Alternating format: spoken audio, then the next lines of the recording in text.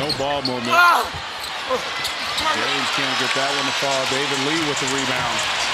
Uh, neck area.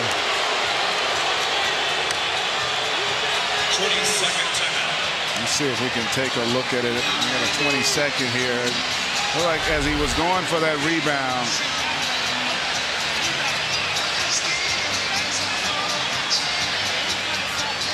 Right there, David Lee caught him.